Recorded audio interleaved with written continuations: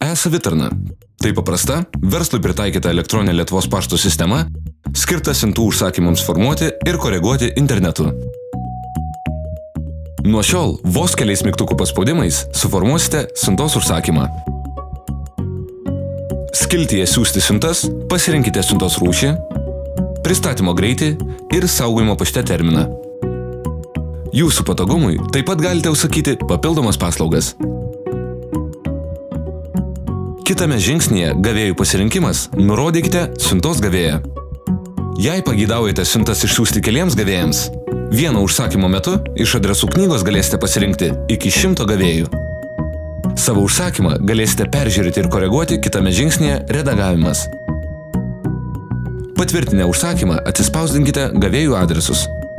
Tinkamai supakavę siuntas ir užklijavę ant jų lipdukus su gavėjų duomenimis, pristatykite siuntas į paštą arba perduokite siuntas jūs aptarnaujančiam laiškininkui. Užsakymas baigtas. Naudodamėsi e-savitarną galėsite pasitikrinti išsiustų siuntų statusą. Visada žinosite, kur šiuo metu yra jūsų išsiusta siunta, kada ir kam ji buvo įteikta.